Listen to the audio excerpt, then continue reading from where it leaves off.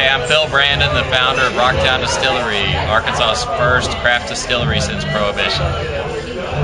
And where are we now? Where are we now? Oh, we are at the 21st Amendment on Dixon Street in Fayetteville. And what are you doing here? Well, um, I'm celebrating the 21st Amendment, the repeal of Prohibition.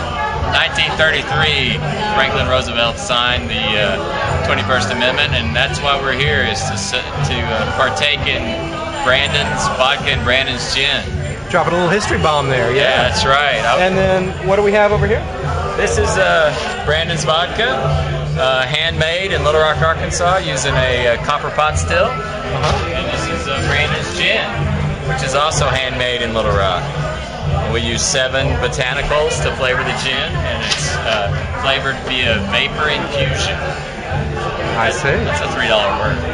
Um, and of course, you've got the gin and the vodka now. Are there any other drinks coming out? There's there's bourbon coming out. We've got bourbon coming out in uh, probably January, maybe February. We've uh, got it aging in uh, five and ten gallon barrels in our barrel house right now. What makes your uh, spirits unique? Well, the fact that they're handmade using all Arkansas ingredients. So uh, we, we uh, don't have any automation, no computer screens. We uh, turn the knobs by hand. We adjust the temperatures. We taste it as it comes off the still. It's one of the few jobs where you actually have to drink on the job.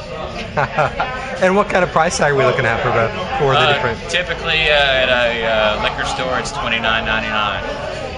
Fantastic. Well, thank you very much. Thank you. Anything else you want to say? Uh, go get you some Brandon's vodka and gin.